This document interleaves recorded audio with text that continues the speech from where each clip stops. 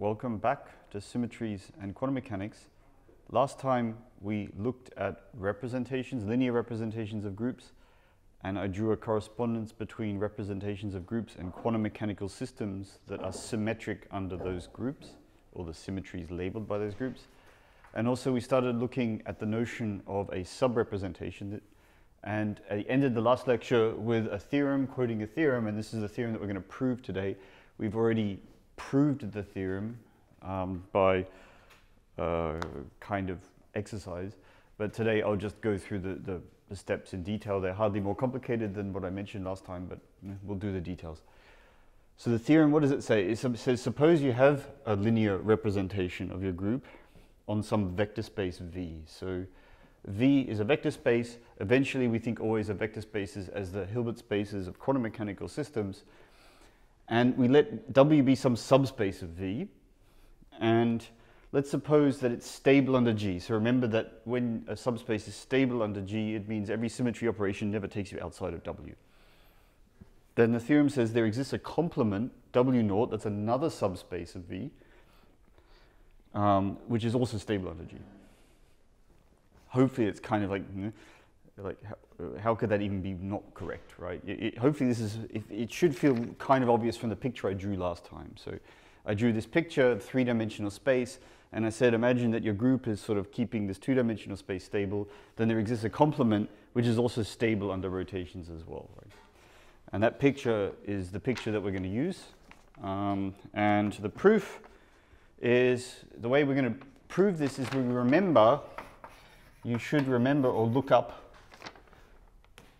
should go back to your linear algebra resources and remember that there's a correspondence between projections. There's a one-to-one -one correspondence between projections of a vector space and subspaces and there's a corresponding con connection between kernels of projections and complements.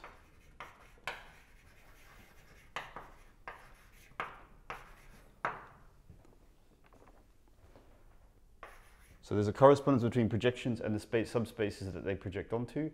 And you get for free a second subspace called the complement, or W, we'll call it W naught, of course. Um, and those complements are one-to-one -one correspondence with the kernels of the projection, the things the projection projects to zero. So the strategy of the proof is, uh, is relatively uh, simple. What do we want to do? We want to construct a projection corresponding to W the right projection, the one that's symmetric, and then argue that the kernel is also symmetric, and then we're kind of done. And the, the main device, like as soon as you see the trick, then the rest of the proof is just checking things. And I mentioned this, this, this trick last time, it's called the averaging trick, right? So what do we do is we just suppose we have, suppose we have some projection and it's not symmetric or stable under G.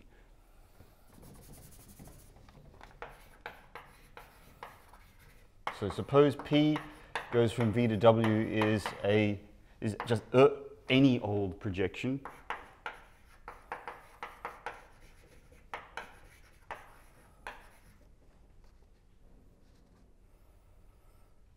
All right, so it chops off everything except for W, but it might not be symmetric. And I haven't even said what symmetric means for a projection yet, but mm, I'll get to that in a second. And then we, we build a, a new operator, which is called P naught. And P naught is going to turn out to be a projection.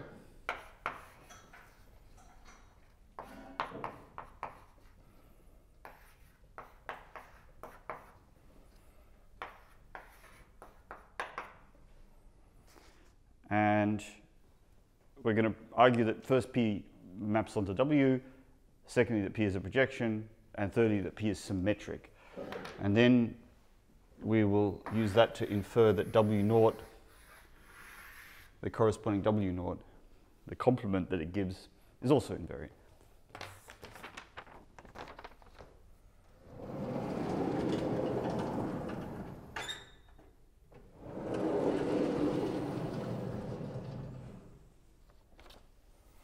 So here's a couple of comments, right?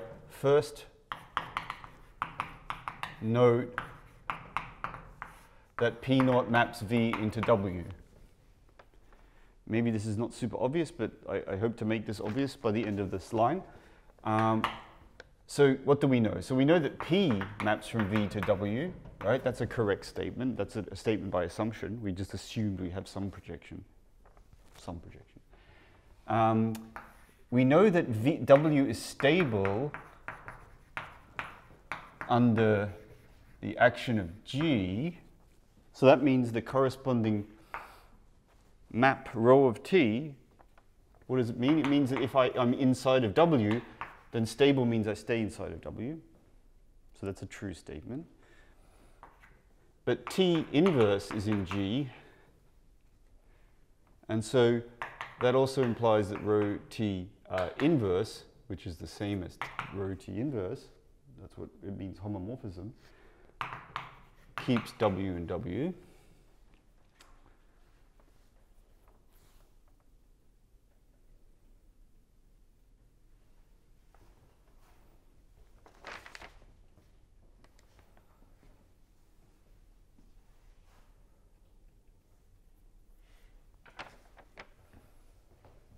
And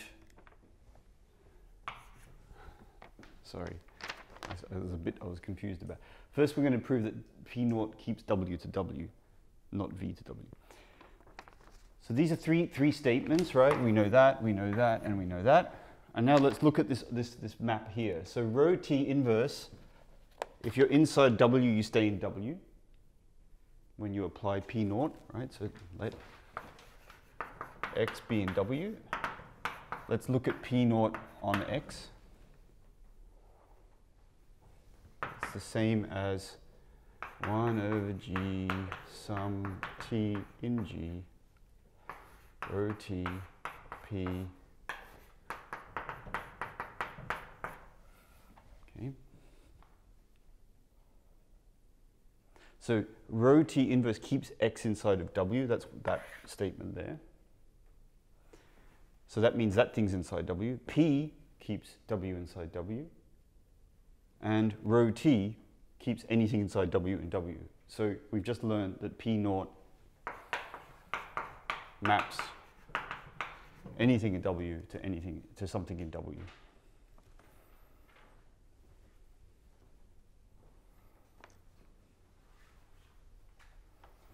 Further, it's even better than that if we give this thing a name, x prime, p is a projection, right? So the whole point of a projection is that when you apply p to anything in w, you get it back again. Yep.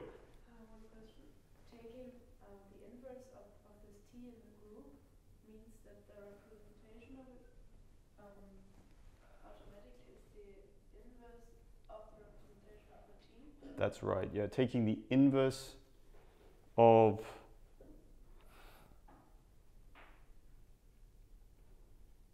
the representation is automatically the representation of the inverse. That comes from this homomorphism property. So remember rho to be called a, a representation.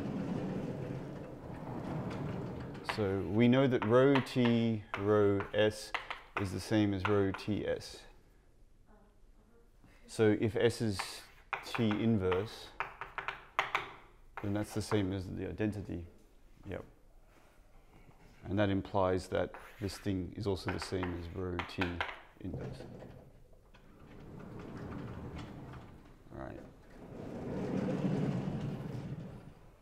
So we know that the projection preserves anything inside W.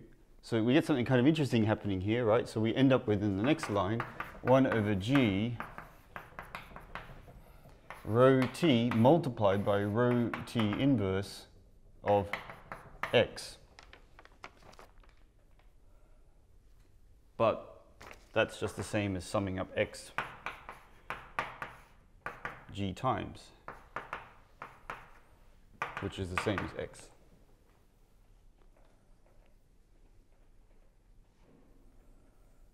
So not only does P naught map W to W, P naught's also a projection on W because we can do it twice, right? And we'll get the same thing.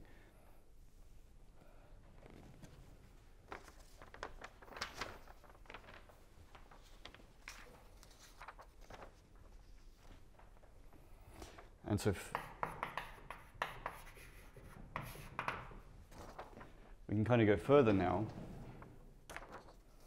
now I'm going to explain how a projection can be symmetric under a group, right? I've explained what it means for a, a, subspace to be stable under a group, but I've not told you what it means for a projection to be symmetric under the group. I'm going to give you that definition now. So another thing we learn is that if we do the projection P naught, and then we do any other, we, we do a symmetry operation labeled by S, so we first project, then do symmetry, then that's actually the same as doing the symmetry, then projecting. And uh, the way I'm sort of not going to prove this is if we just look back at this expression here.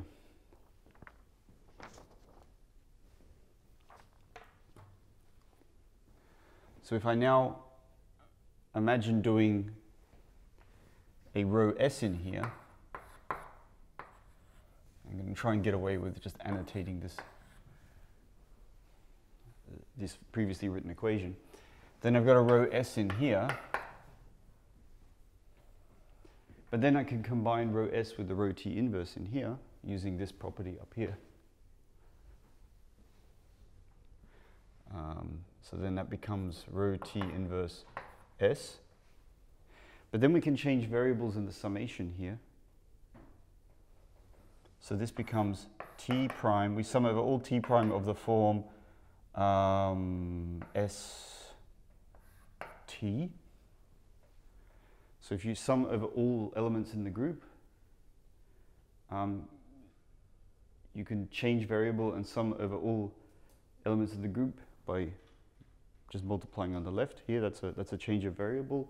And it's an invertible change of variable because this is a group, so everything has an inverse. And then that changes this summation here to t prime and t prime. And then there's a uh, S inverse here. And then you can use that property again to pull that S inverse out here. Uh, something's gone wrong.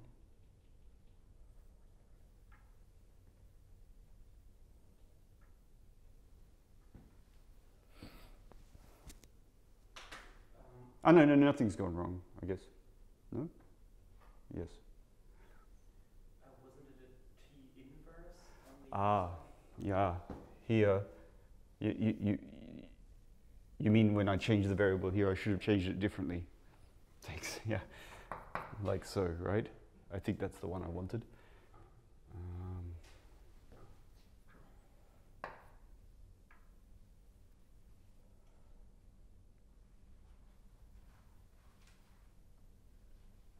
I wanted the inverse on the S. Um, and then that gives an inverse here, and then we get a rho S coming out. Yeah. Okay, so that's, I'll leave the, the, the checking of this yellow annotation as an exercise, but you can see that the trick involved here is putting it in here, doing a change of variables, and then pulling it out to the left.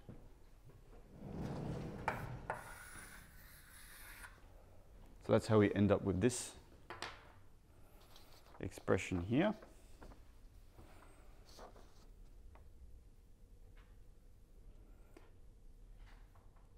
And then now effectively we can define our complement. So we let x be, be something. So this is a projection. So there is a corresponding, I didn't write that.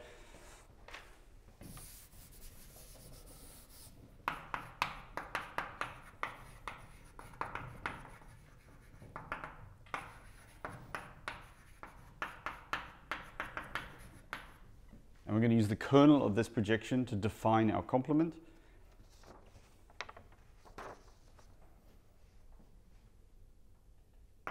And the only thing we have to check is that this particular complement is stable under the group. That's the whole part of this, this theorem, the whole content of this theorem, that the complement itself is also invariant or symmetric under the group. So let's let x be something in there. We're going to uh, we're going to apply, and so what does that mean? That means that P naught X equals zero. Uh, but this also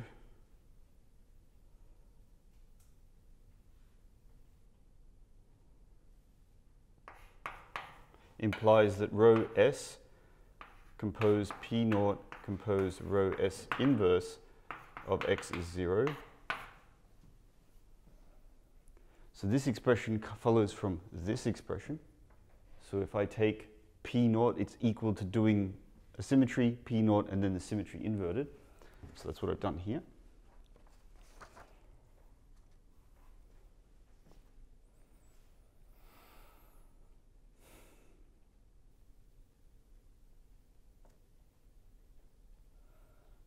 although I wanted to put the inverse here, sorry, I'll put the inverse there, if you forgive me.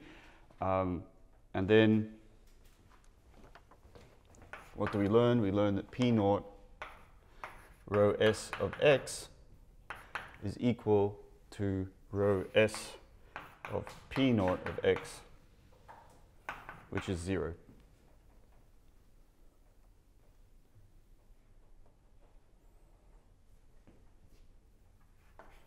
And that implies that this thing, whatever it is, also lives in W naught.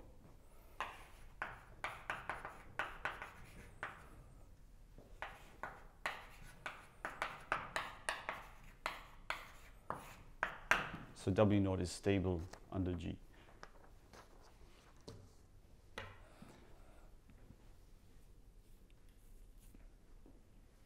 So we have really two tricks going on in this theorem the proof of this theorem. One is the averaging trick. You take a non potentially non-invariant projection and you create an invariant projection by averaging over undoing the symmetry and then redoing the symmetry. And then the other part of the theorem, if you like, is just a standard change of variables argument like this.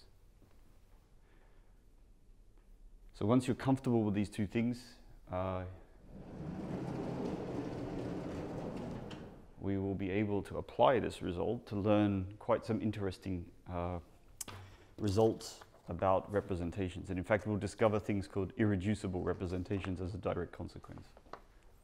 Okay, there's kind of a, a remark, corollary uh, proposition.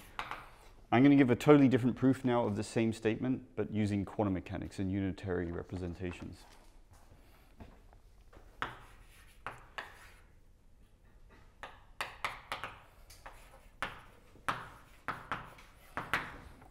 So this is the context we truly care about. In quantum mechanics, we don't particularly care about linear vector spaces.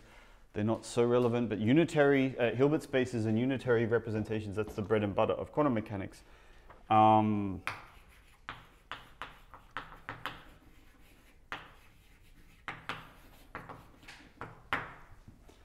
and we're going to use, we're going to assume now that we not only have a linear representation, but a unitary representation. Uh, and we know, uh, you know, such a unitary representation is a symmetry, right? So it preserves inner products.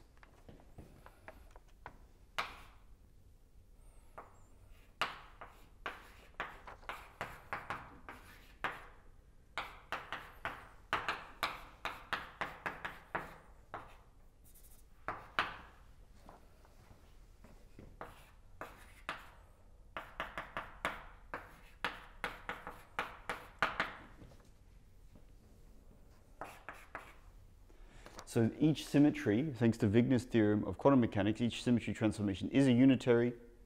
Uh, we're representing each of these symmetries by, uh, labeled by the group, by unitaries. What is the defining property of a unitary? A unitary preserves the scalar product between two vectors for all x and y in the Hilbert space.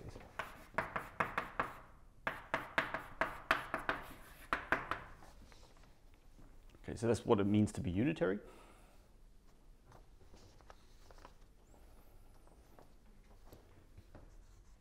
So uh,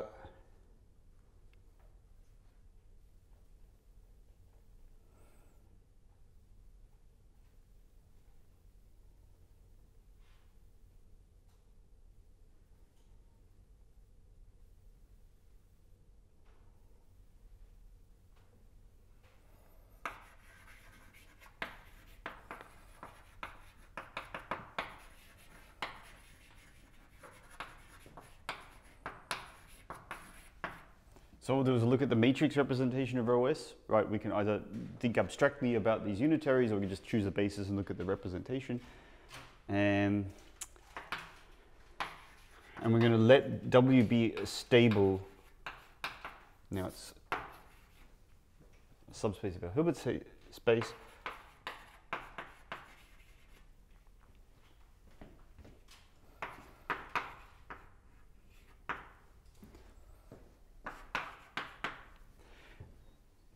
To choose a basis for our Hilbert space uh, which uh, extends the basis for W.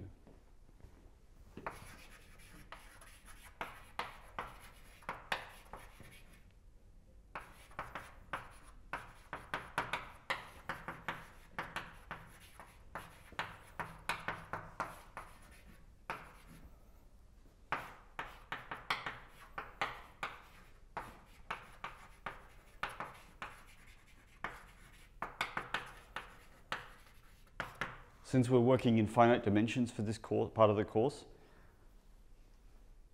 we imagine we have a basis for W, this stable subspace. You can just choose a random orthogonal basis. And then we make a basis for the full Hilbert space just by adding vectors until we get the full Hilbert space basis. And how do we make sure that that space is, is orthonormal? Well, we use the Gram-Schmidt process to, to ensure that all the additional basis vectors are so we have something like this, right? You have a basis for, for W. And then you have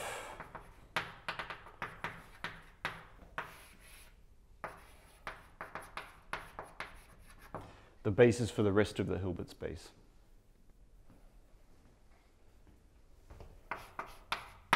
And we're going to write our matrix for RS for this, rep, uh, for this representation here with respect to this particular basis. Now what does that mean? Well, it means as a matrix, it looks like this, right? So I'm going to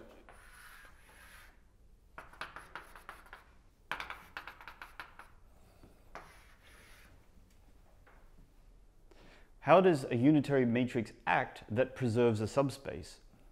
Well, it's not allowed to map. Suppose you have some you know, here's a vector in our Hilbert space here,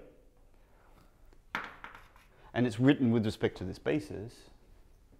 So these are the parts of the vector that belong to W, and these are the bits of the vector that belong to something else, not W. W or W perpendicular. I can even say that because we have a scalar product. See, the, the, what, I, uh, what I should have prefaced this all with is the statement that in this proof up here, we didn't have a scalar product nowhere in this, this theorem did we have access to a scalar product, so it was very hard for us to talk about complementary subspaces. The minute you have a scalar product and you can measure angles between things, then there's a kind of canonical, there is a canonical uh, complement to every subspace, right? It's just the perpendicular subspace. And so I can just write it down. These are all the vectors that are perpendicular to the vectors in W. And perpendicularity is measured by the scalar product. So let's think of how this unitary acts, right? By assumption, W is stable under this matrix, which means that if you're in here, this matrix better not map you out of here. So there's stuff in there, right? There's stuff in this part of the matrix. But there for sure is nothing here. This is zero. Has to be. Now there's this nice little result about unitary matrices. The norms of all the rows and all the columns is 1. So the norm of every column here is 1. The norm of every row here is 1. So this tells us that there not only, not only is this 0, but there has to be a whole lot of stuff in here. And the norm is 1 of the rows. And now the minute you have that,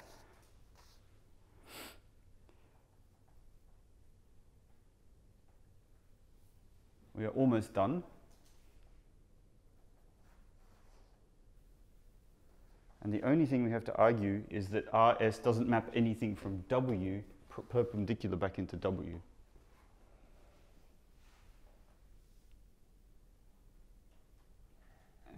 if we look at the adjoint of that matrix, that gives us the answer to that. So the adjoint also has to have this structure because R, the adjoint of R is the same as R inverse. And so that implies that this other part up here is zero as well.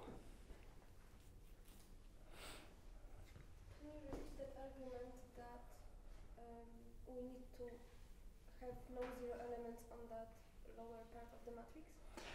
Uh, can I repeat the argument that there's no zero parts here? No, no. On- the right? This one? Oh, oh down here. Yes. Yeah, yeah, yeah. Okay, sorry. Uh, so if the if you have a unitary matrix, I'll draw one here. If you look at this, any row of a unitary matrix, then the norm of the elements in that matrix row have to be one. Okay.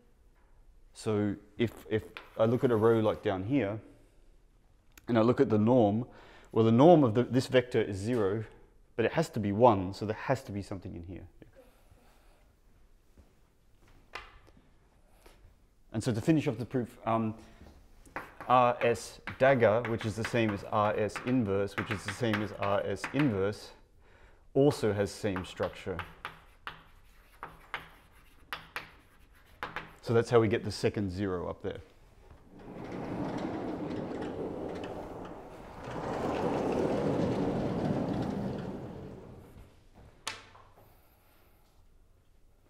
Now it's clear that W naught is W perpendicular, right?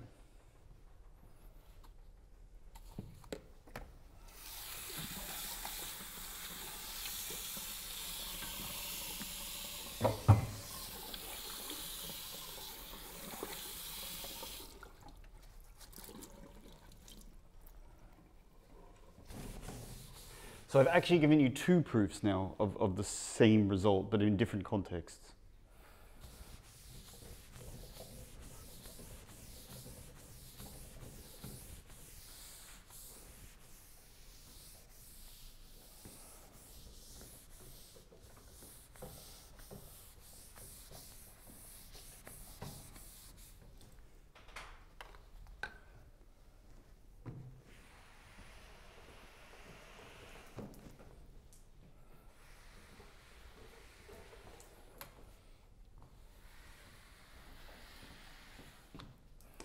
It turns out this is going to be an extremely useful uh, result that will lead us to discovering things called irreducible representations.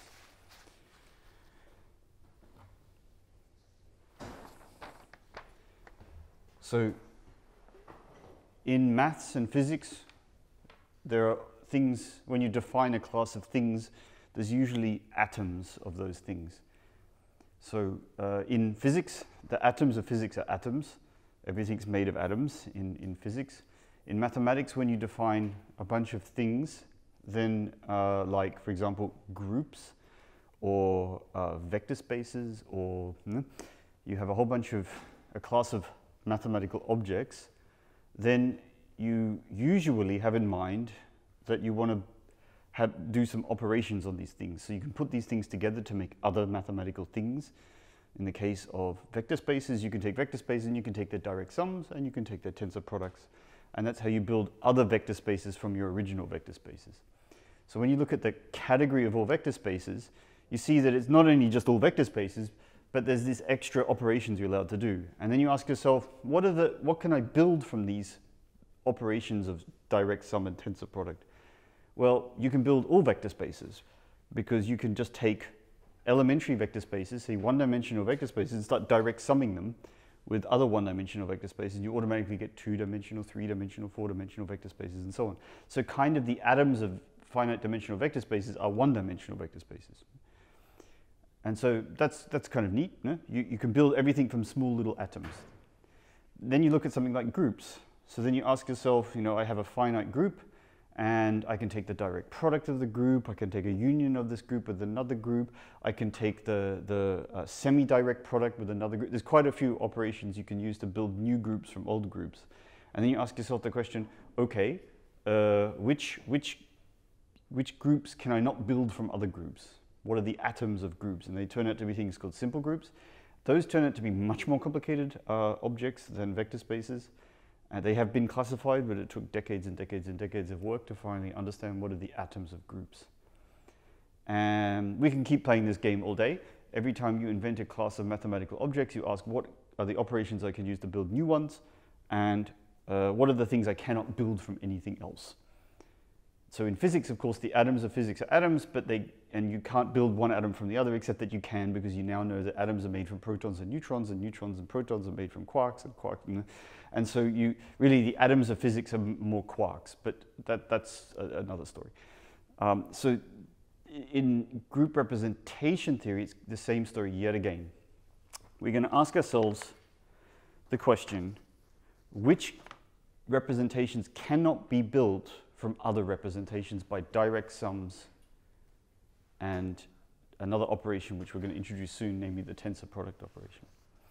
They have a name. And these things, the atoms of rep theory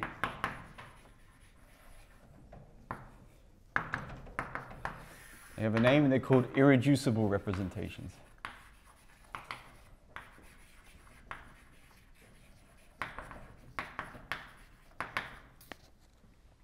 Better tell you what they are.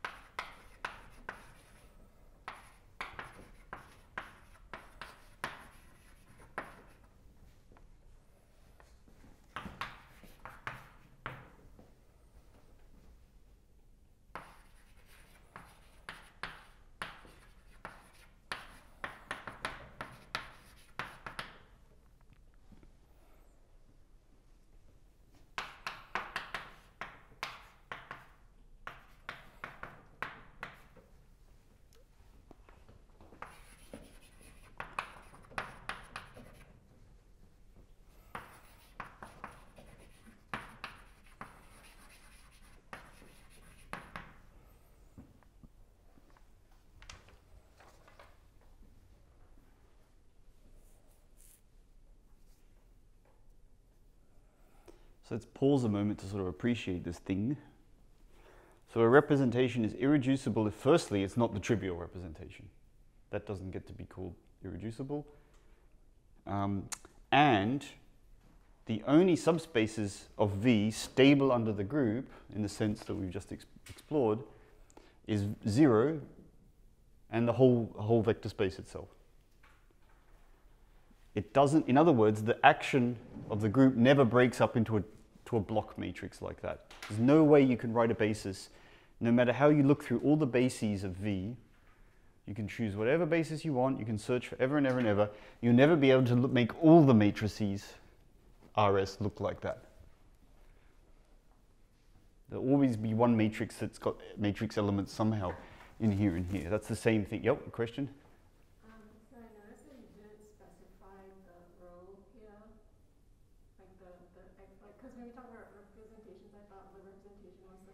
Ah, yeah, thanks. I didn't specify the rho here. Uh, I should have, but this is one of these things that people do uh, where you'll have, unfortunately have to get used to this, this abbreviated way of talking.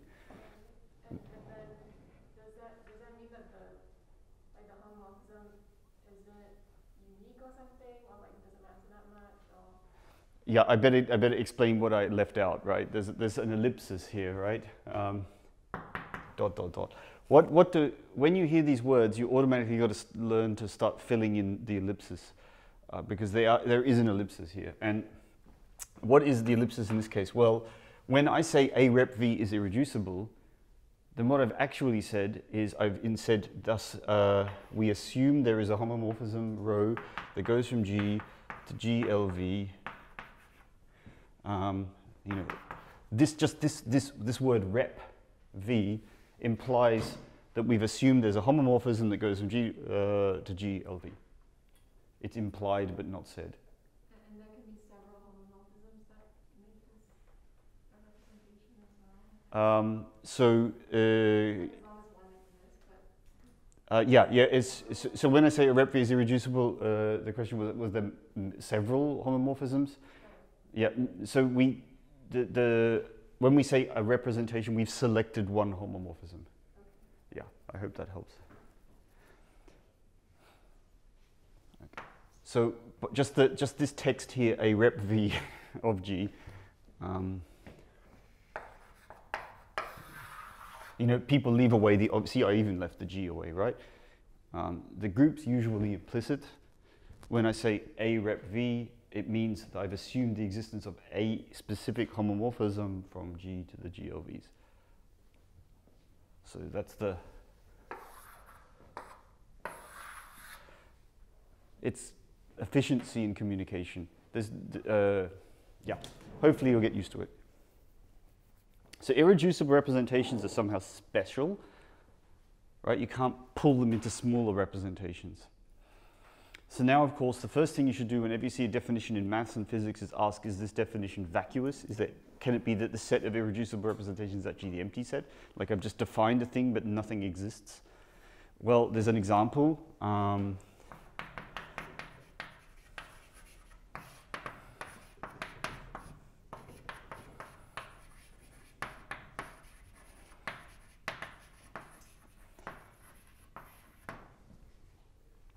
which you kind of get them automatically from this definition. So all one-dimensional representations are ir- irreducible, right? They're not equal to the zero. You cannot have a sub-representation of a one-dimensional representation. Like, what would it mean to break a one, one by one matrix into blocks? So therefore, it's irreducible. So that's that's pretty cool. So we've learned that at least one-dimensional representations are irreducible. It turns out, and here's the interesting thing.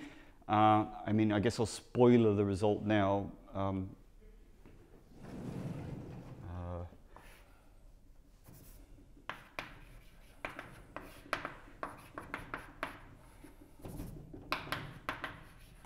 so all irreducible representations, irreps,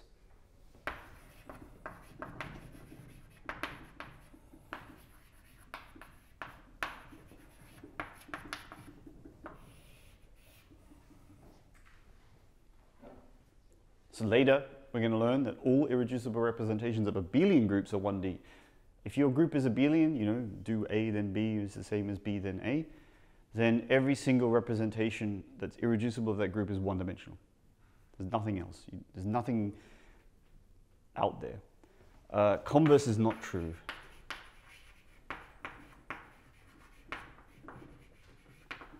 So non-abelian groups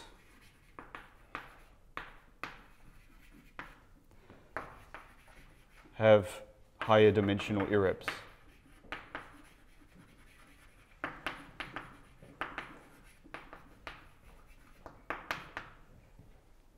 So there's the interesting part. The, the fact that operations don't commute is intertwined with the dimensions of the irreducible representations of these groups.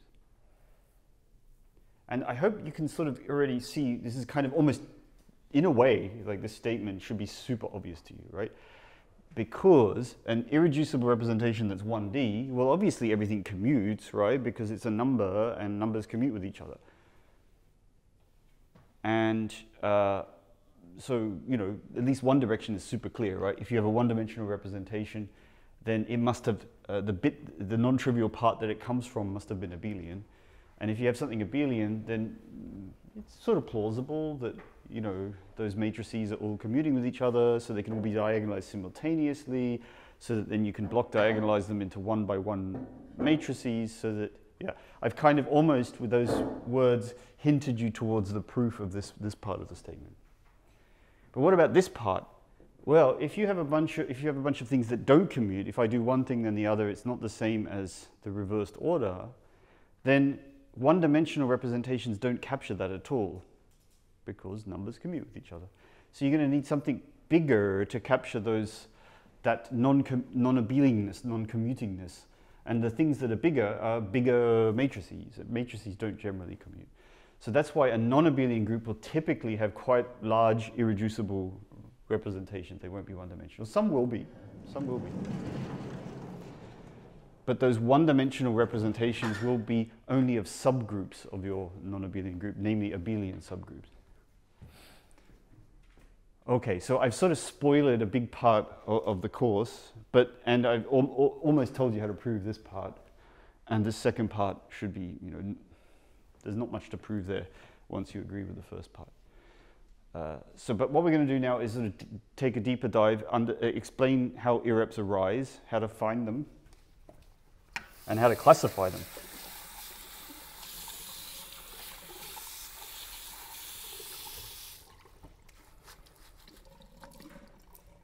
Because another thing I want to keep banging on in this course is a representation is the same as a quantum mechanical system. Like every time you've written down a, a representation, every time you had that matrix and how it acts on that vector space, you've just defined a quantum mechanical system symmetric under the group. And you've come one step closer to this quantization program that I mentioned in the, the previous lecture. So whenever a mathematician says irreducible unitary representation, you should be thinking quantum mechanical system with those symmetries. Like that's the physicist interpretation.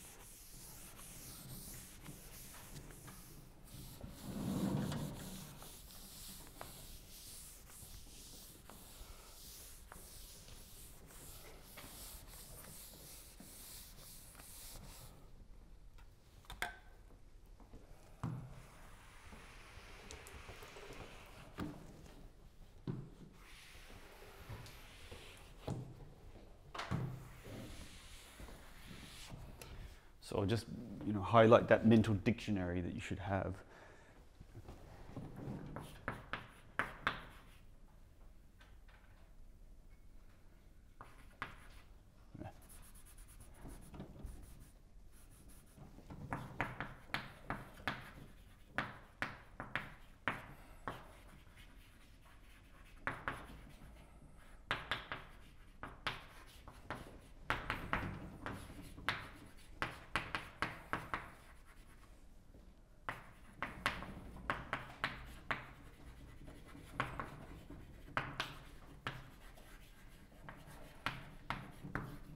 Okay, that's you should always have in the back of my, your minds, right? Whenever I see these, the math terminology, irreps, blah blah blah, reps, really what you're thinking is somehow a quantum mechanical system that has symmetries, transformations labeled by the group.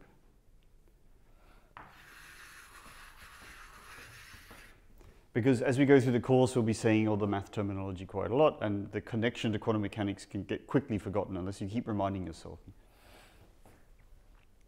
Okay, now comes a big one. Is a big one. There's a couple of really big results in representation theory, and the beauty of it is all I can tell you these big results within about six lectures, and then the rest of representation theory is the hard work of working out all the details.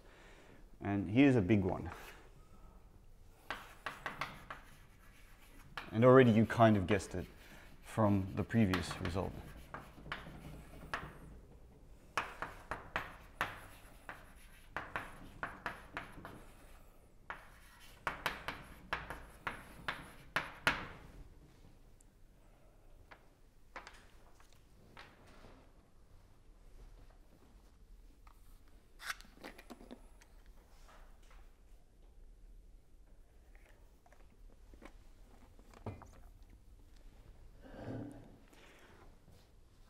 So this, this is the result that this is, these results are solid gold in math and solid gold in physics.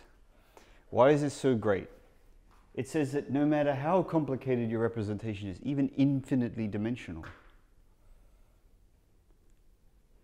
you don't have to worry about the search space of infinite dimensional things.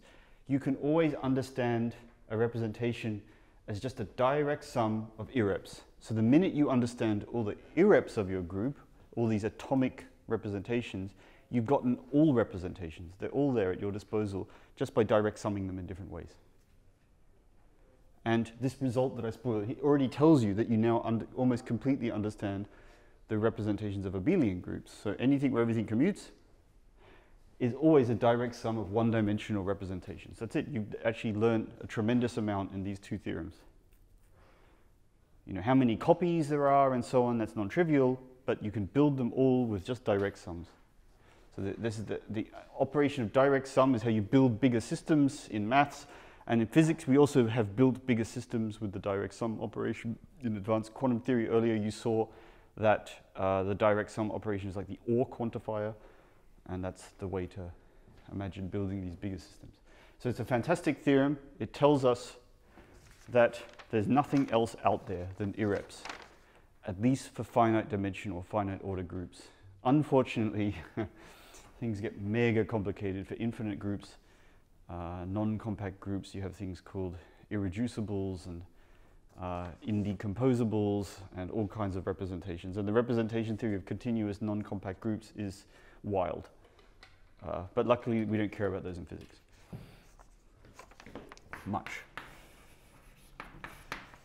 A little bit. Okay, I'm just gonna, I'll prove it, but do I really need to prove it? Yeah, I'm going to, but do I really need to? Like, think how hard would this be to prove? What have we just proved before? We said that if you've got a stable subspace, then there's always a, a complement. What's stopping you just iterating that procedure? Now you look at your W and then you say, can I break W up into another two pieces? Well, nothing stops you. You just keep on doing it. That's the proof. So of course I'm going to write it out more formally, but just imagine applying this previous result over and over again until you cannot break it up anymore. Yeah? I think this picture says it best. If you can break all your matrices up into looking like this, then what's stopping you doing it again to this block? And what's stopping you doing it again to the sub-blocks and so on? Answer, nothing. You stop when you can't go any further. So that's the proof, and I'm going to write it out more formally, but I've but that's in effect what I'm going to do.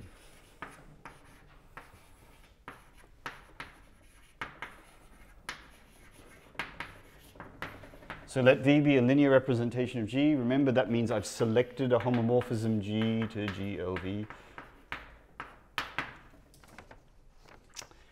Uh, the argument's an induction on what?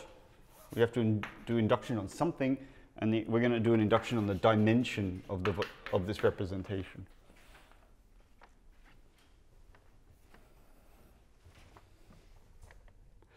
Ah, I think I previously said that zero isn't irreducible. Ooh, was that naughty? I guess it was. Uh,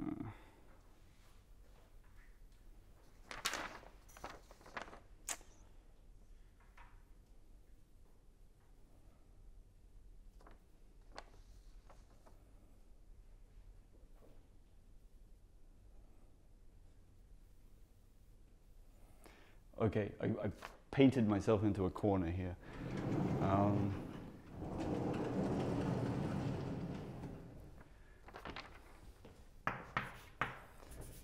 so by convention,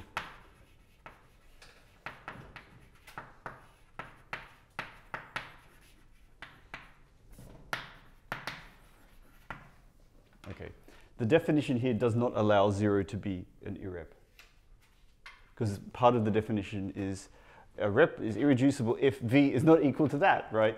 So that's, that's a bit of a problem. Um,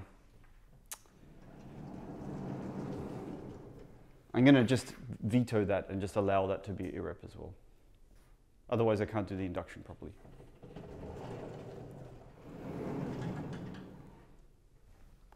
Yep.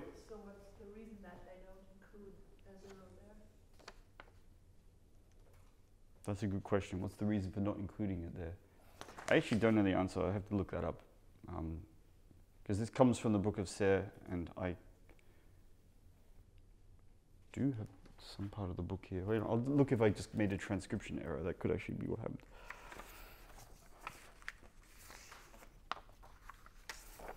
So otherwise, it's a bit strange.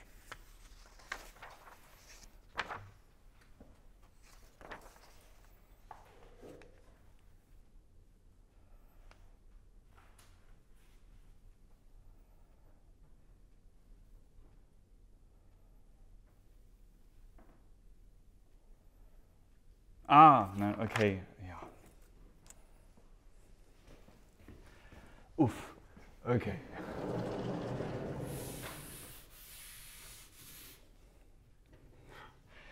Tricky mathematicians. Okay, so i i the definition is this one. So just ignore the nonsense I just said for the past two minutes. okay, I um, we're going to do an induction on the dimension of v. So what if v is zero? So you're like, well, that's not an irrep. Well, what is it? It's an empty direct sum of vector spaces. So there's this thing in maths. You can have the uh, you can have the union of some things, but you can also have the empty union of things. So you know some, something is a union of nothing, or an empty union. That's also allowed. So the vector space zero is the empty direct sum. That's the actual definition of the direct sum. Allows you to have a direct sum of no things. So the direct sum of no things is v equals naught. So although v equals naught is not an irreducible representation, it is a direct sum of ir irreducible representations, namely the empty direct sum. That's perverse word trickery, but that's how it is, right? So that's how we get around this kind of funny, funny problem here. Okay.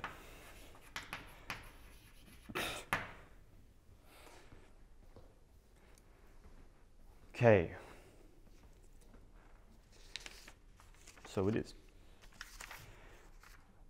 Where was I? So we've already got the base case of the induction now.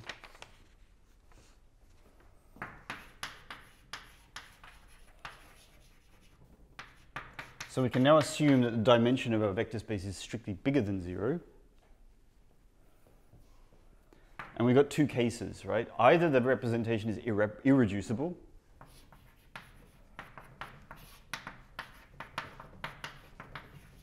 meaning it's not the direct sum of anything smaller. Well, in that case, we're finished.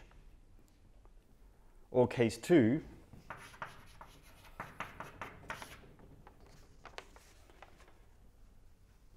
we know that V, as a consequence of this previous result that we labored through, is a direct sum of some W and some W naught, right? and the dimension of W is strictly less than the dimension of V, and so is the dimension of W naught.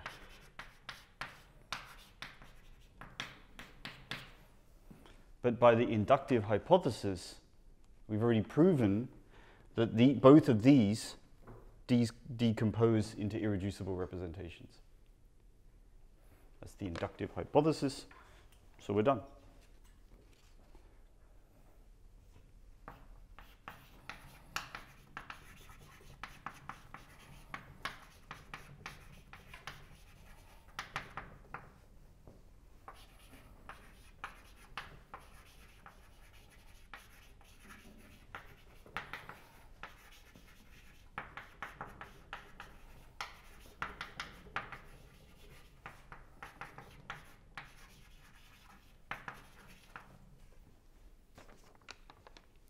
So if W breaks into a direct sum of irreps, and W naught, I said prime, I said naught, and W naught breaks up into a direct sum of irreducible representations, then the direct sum of these two is per definition a direct sum of irreducible representations. And so that's how we prove the result. Yeah?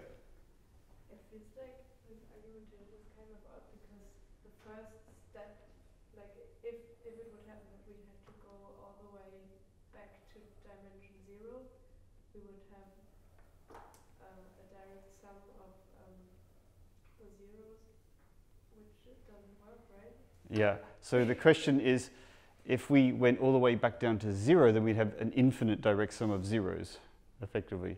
That we block that by this, this peculiar trickery here with the definition. So uh, we block zero from being an irrep. So actually we're not allowed, we'll never end up there. Uh, and th this, this edge case uh, turns out to be, it turns out to be true that V is a direct sum of irreducible representations. It's just a direct sum of zero uh, representations.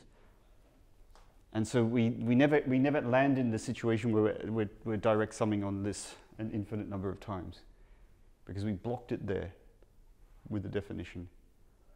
Okay, but how are we excluding um, the possibility that there's, that there are no irreducible representations? Uh, oh, oh, Like yeah, oh, I haven't actually. back and then we only have uh, the empty direct sum and Well, that, that's possible. That's actually allowed here as well. So if there are no irreps at all of your group, it turns out that all groups have irreps. We'll see later. Uh, but yeah, okay, there is a, left open. The I think your question is the possibility is that there could be a group that has no irreducible representations at all. I, I believe that that's also covered here. Okay. So it's it's possible to to have a vector space as a direct as an empty direct sum that has not dimension zero. Yeah. Yes. it's weird. Yeah. Um, it turns out it never happens. So because every group will have representations, and I, we've actually given it. All right. So earlier on, how do we know we're not ever going to land in that situation? Well, I gave you three three three representations of every group. Remember the trivial representation? That's a representation. And so it's, it's non-empty. So this strange possibility where you could have no irreps at all is actually excluded by the fact that there's a simple rep and there's the regular representation. You always get that one for free. So there's these, the, the, you have these sort of like master representations. Each of them turn out to be direct sums of irreps. And that's how you know you've not landed in this pathological scenario where you have no irreps at all.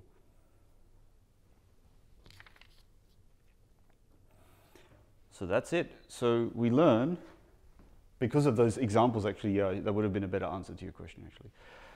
Uh, because we know are, every group does have representations, I wrote them down last time, we know that every representation of every group can be broken down into a direct sum like this.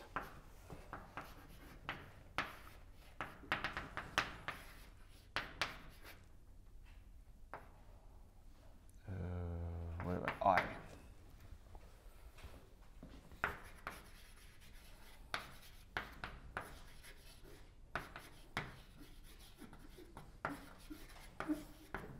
Okay, so we've just learned something tremendous. We learned that no matter what representation you have, trivial, empty, whatever, whatever representation you have of your group, it's always a direct sum of some irreps wj. It's not unique. We have to say right now that this decomposition is not unique. And let's talk about non-uniqueness for a bit. There's a bit that is unique and there's a bit that's not unique. So if each representation had a different dimension, then there would be a unique decomposition. You know, one way to do it uniquely would be to just line up these representations in order of increasing dimension. The prob- problem, if you like, is when two or more irreducible representations have the same dimension, then there's no real unique way to say which one comes first. We'll deal with that later, actually. It's called multiplicities. And there's a canonical way to get over that as well.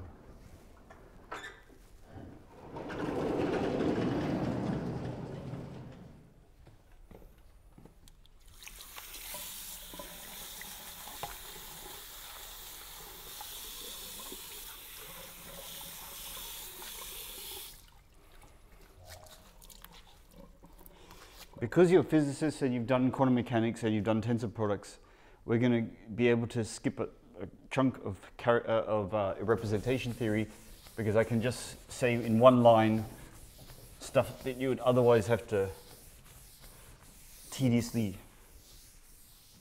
uh, justify.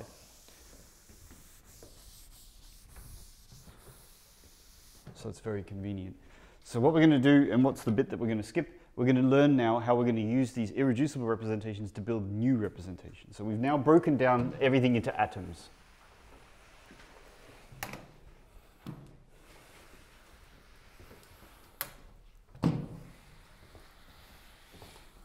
So there's a periodic table of irreducible representations for every group, no matter which group you choose, which finite, finite uh, size group you choose. There's like a periodic table of all its irreducible representations. There are books you can down, download, buy, where they list tediously one after the other each group and all of its irreducible representations. These books are out there, you can get them, they're very thick books, uh, and it's been done. So the task of understanding representations for most groups that you care about can be solved with a Google these days, because you don't even need the books. If you just say, I've got the dihedral group of order 24, tell me all the irreducible representations, you will land on the Wikipedia webpage with the list of all the irreducible representations. And that's like its periodic table of atoms. And then, uh, and we're going to learn how, the, how to get those tables. That's part of this, part of this course. But before we get onto the business of understanding how to build these irreps from, from nothing, so to speak, we want to understand what we can build from the atoms.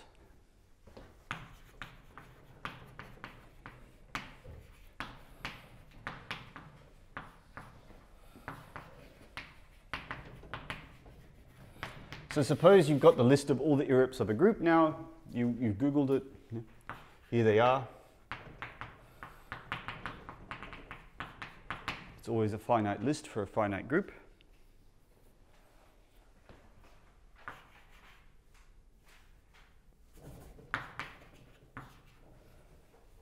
The question is, what can we build from this? You know, remember when I say irrep, there's actually corresponding to each irrep, there's a, a homomorphism, rho j, a specific homomorphism that goes from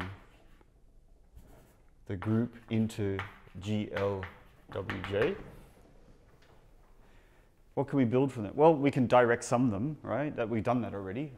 If you've got two irreps, then you can take the direct sum and you automatically get another representation of the group, does everything right. But there's some other operations you know in linear algebra, in quantum mechanics, and in the quantum mechanics of many particles. Let's just try those three operations that should jump to your mind fairly quickly if you start thinking about systems of particles, systems of identical particles, and bosons and fermions. There are two or three things you can build with irreps that are very, very handy. And so here we go. Here's three, three, um, three things to build.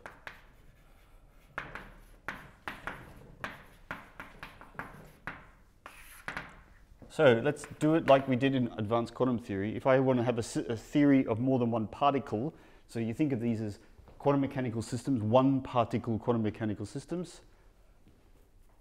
So what can you do if you have, if you want to describe a system of two or more particles that are distinguishable? Well, right? Tensor. Tensor is how I build a Hilbert space for two, two particles. Uh, is that a representation? The answer is yes.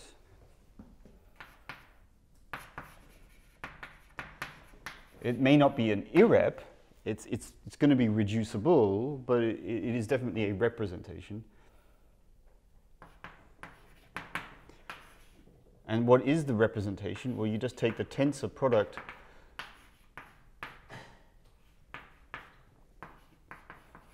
of those homomorphisms, right, of those unitaries. And you can check that that's also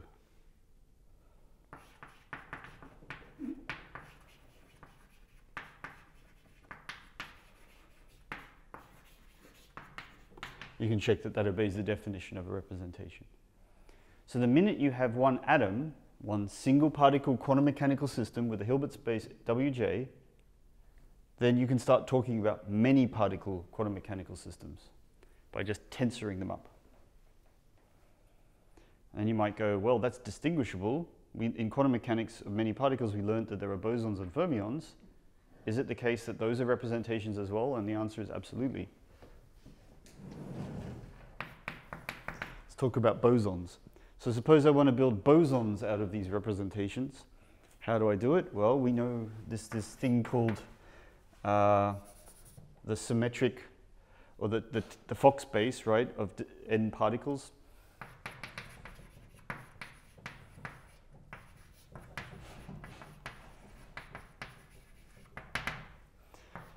Gamma plus will do. So you can build Fock space of n particles. I'll just put an n here. Uh, and that is a representation as well of the group. So for example, you know, that's P plus on WJ tensor WJ. And what's the action? Well, it's none other than gamma plus of rho of J.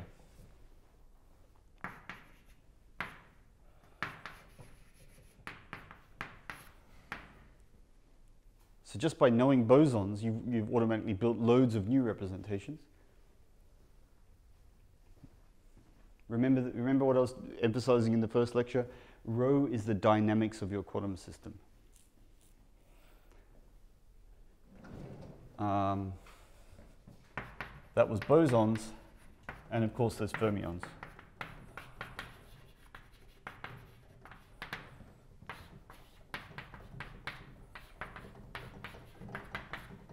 And the rep is the same.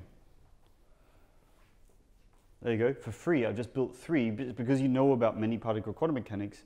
Once you have irreps, you instantly know loads more quantum mechanical systems you could that would also be representations of the group.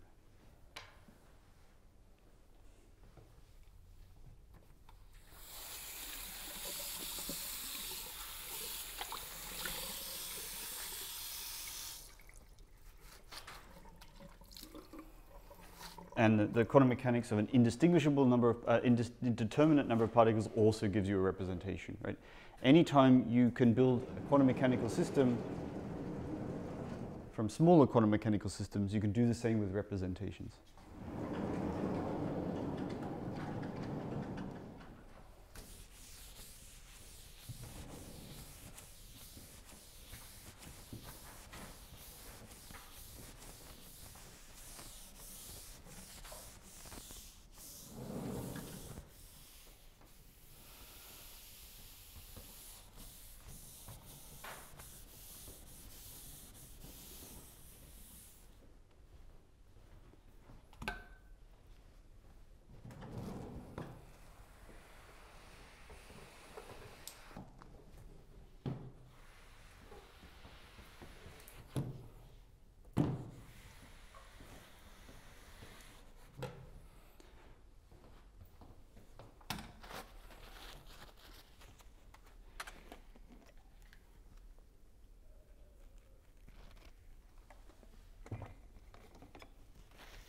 Right, now we're going to go into the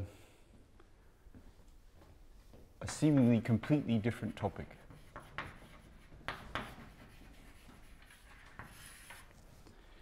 Our objective now, I, I hope I've given you a sense of how representation theory works, right? We start with the, the symmetries that we care about. They're labeled by elements of a group. And then we talk about what it means for those symmetries to act on a quantum mechanical system, namely by unitaries. And these unitaries have to play nicely together in the same way that the group does. And then we note that every, every set of unitaries that, that works has sub-representations and that there are some special representations called irreducible representations which can't be built from others. So you can see this kind of reductionist argument is going to force us to, to start answering the question, well, what are these irreps then? How do I find them? How do I build them? And in order to do that, we're going to take a, a very seemingly strange diversion. We're going to start talking about things called characters, which at the, at the outset look like they have nothing to do with this question. So for the next lecture or two, we're going to talk about things that aren't going to look like they're related to the, the goal of understanding irreps. But, whole, you know, uh, be patient, we're going to get there. The physics of characters is interesting. I will give you an interpretation of these things that I'm about to write down, and it will be helpful. Uh, but they're not something that you typically encounter in quantum mechanical systems as a physical observable. It's kind of a mathematical thing that you might do.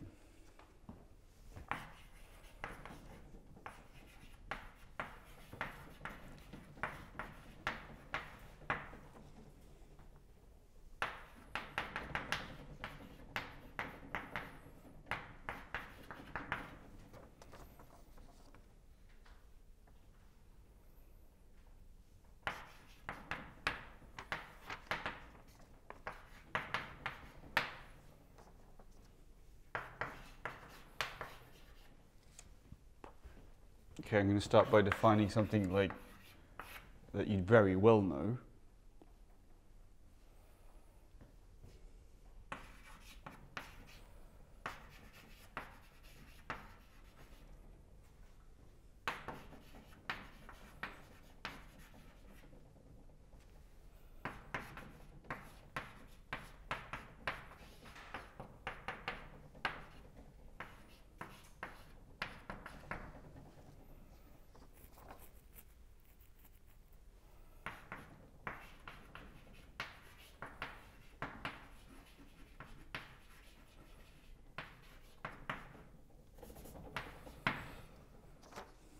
All right, let's just remind you of some basic linear algebra that you had not forgotten, but hey. So we're going to start by just a vector space V, just your, a quantum mechanical system with dimension n if you like. Uh, I, we don't need the scalar product for this part, but we could. Uh, so let's suppose we have some basis, label it by these, these vectors here. And let's suppose we have some linear transformation of our vector space, some matrix. Then what does the trace mean? It means you just sum the diagonal elements of A. And you know from your linear algebra background that for diagonal A, that's the same as the sum of the eigenvalues of A. Now this is basis independent. So we learned that the trace is basis independent.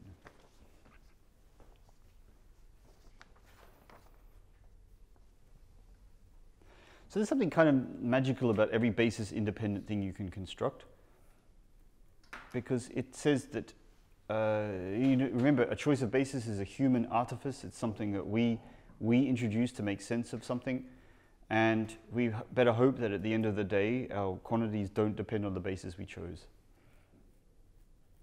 Otherwise, we made a mistake, right? You know, if, if it depends what color we color in our our equations in, with which colored pencil we use to derive our proof, then there's something wrong with our proof.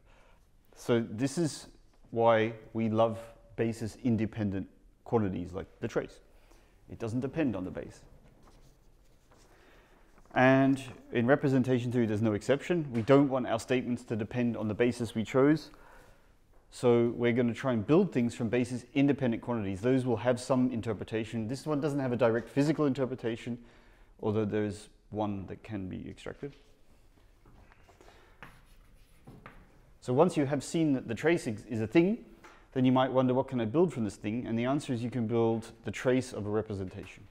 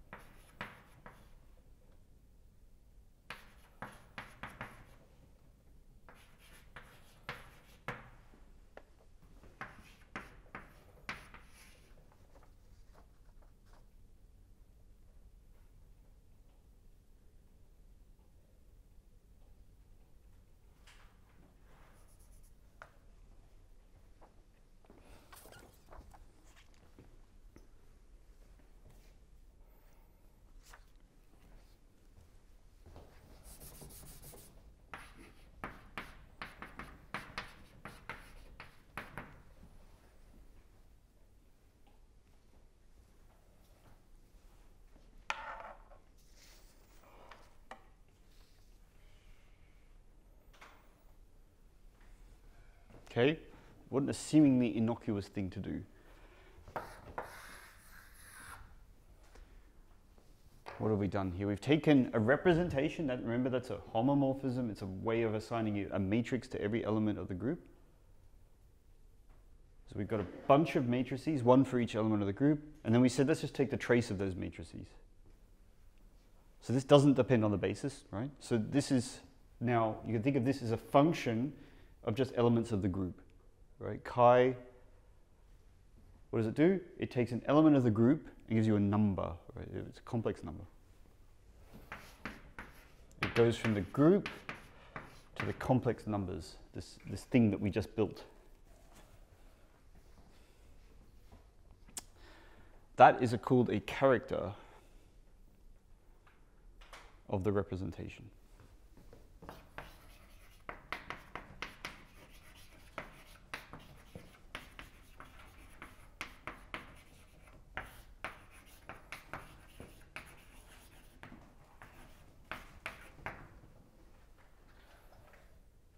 Either the character of rho or the character of v, depending on what way you want to write it.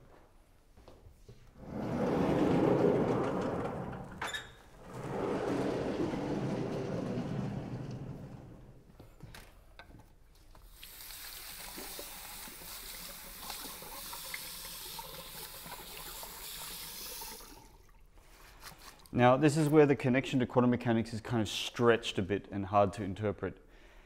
If you have a unitary matrix, sure, that's easy to interpret, right? That's an operation we do in quantum mechanics.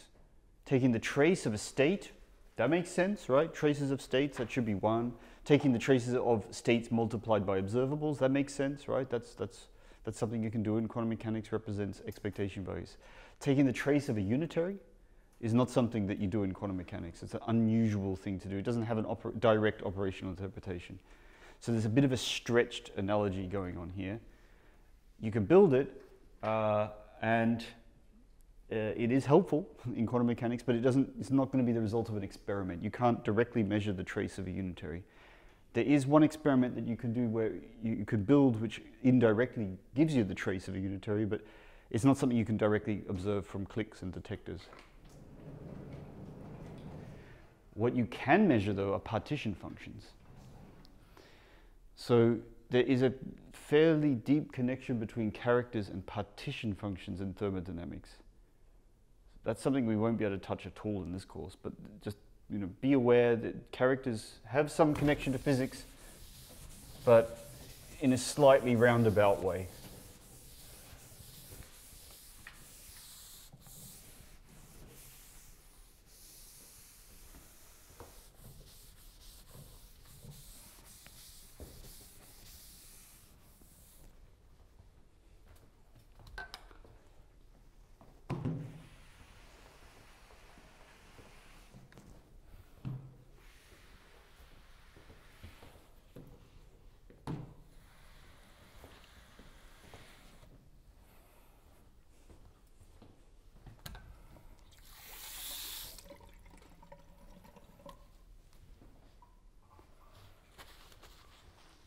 And now that we've built this thing called the character, we're going to try and learn stuff about it, and we're going to leverage this character to be able to do some tremendous things. In the end, we're going to be able to classify uh, all irreducible representations using just these functions here.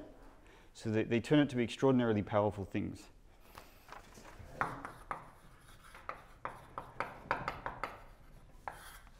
But first, some properties.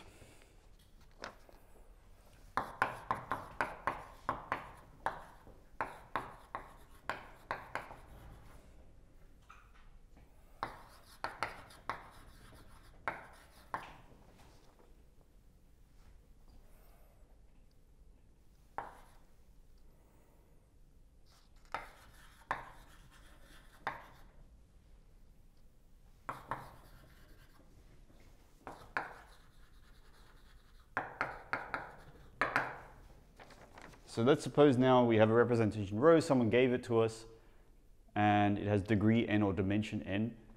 Then there's a couple of really simple things you can prove. Uh, this is, I'm not going to prove them, this is really exercise stuff. For you, um, the character of the identity of the, of the uh, uh, unit element of the group that has a number n. Like, do I really need to prove this? I don't, right? Because the trace of the identity matrix is n.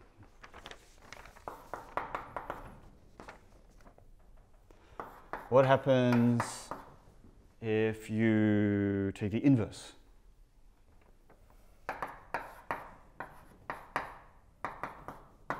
You can just take the complex conjugate of the character.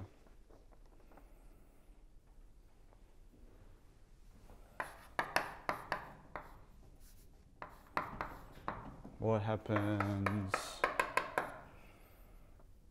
if you have a conjugation?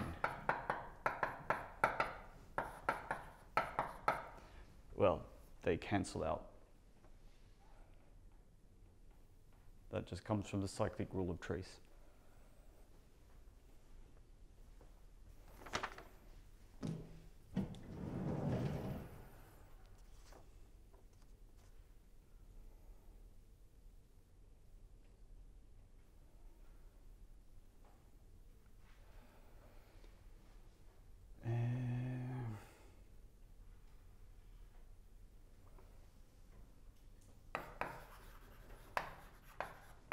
So I'm not going to prove these three things, but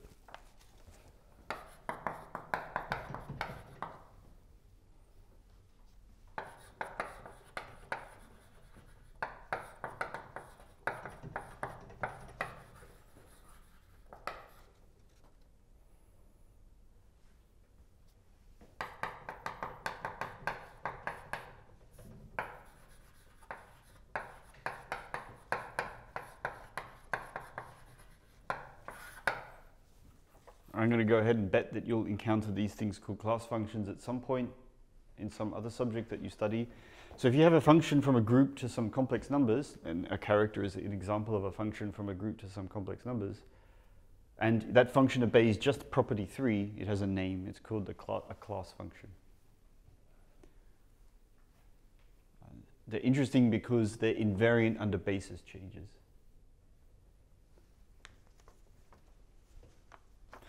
Okay, further properties of these characters, we just have to kind of collect their properties.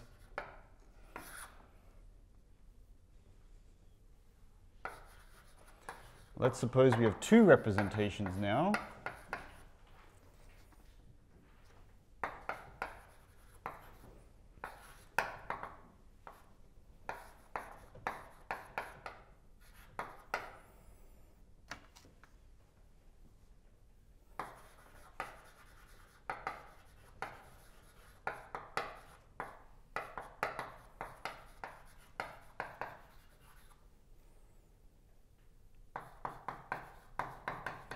So now we're going to so, suppose we have two representations. We can build a character for each representation. We Just take the trace of their corresponding matrices. Um,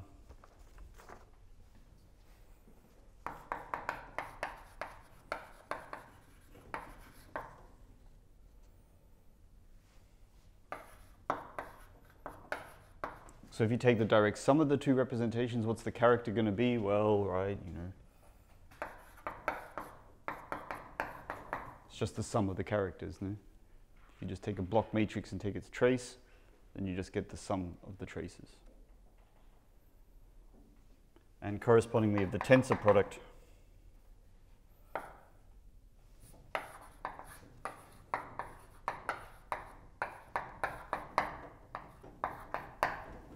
is the product of those two functions.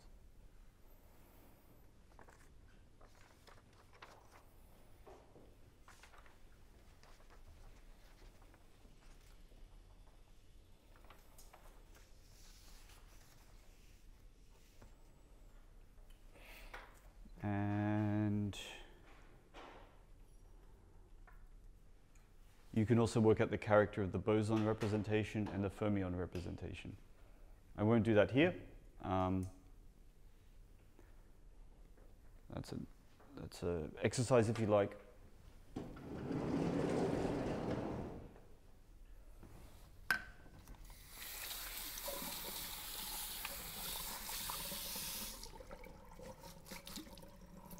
Okay, I'm going to end today with stating the big result of representation theory, another really big one.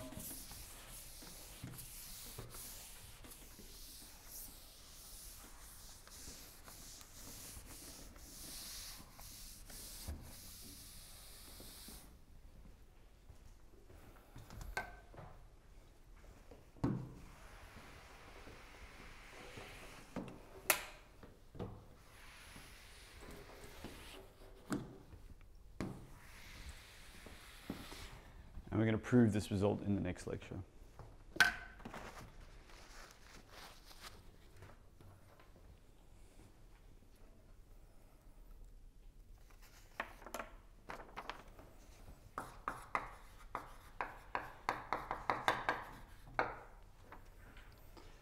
So we're going to call this proposition Schur's lemma, because why not?